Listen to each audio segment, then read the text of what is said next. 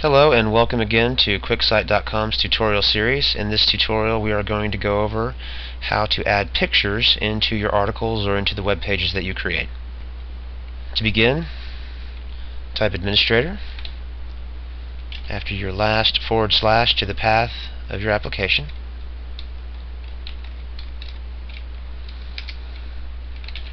Log in. And mouse over content, go into your article manager and we'll create a new page. I'm going to call this new page. It's in my general content section. I'm going to place it in the category web pages.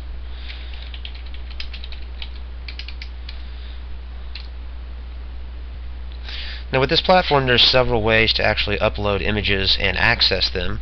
Um, you can also, if you know HTML, just go directly into the code or the source code and uh, type in the href or the link to or the uh, yeah the path to the picture and uh, just use HTML that way.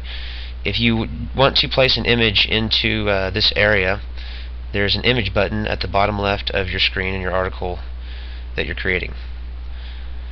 When you click on that, it's going to display pictures that you already have by default in a path that is specified in your global configuration. And uh, one easy way to upload pictures is there is an upload option within this box and then once the picture gets uploaded then you can simply select it and choose to insert it. So I'm going to go ahead and click browse. I'm going to find the picture that I want to upload and you click start upload. And when it uploads you'll see it will show within this list of pictures here. And then from here I can simply click the picture and then click insert. And that is a huge picture.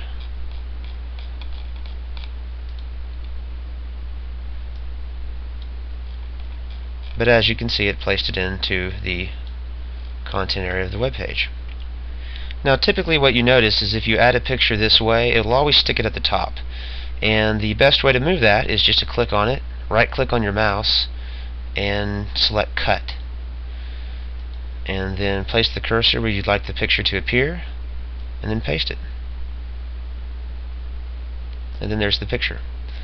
And of course you can select on it hit center align it different ways. Maybe you want it to go to the right and that is basically one of the easiest ways to add a picture. Again you'd go to the images. If the picture is not already located in here you'd go to your upload area browse your system select start upload. Once the picture finishes uploading it'll show in this list. You select the picture and you hit insert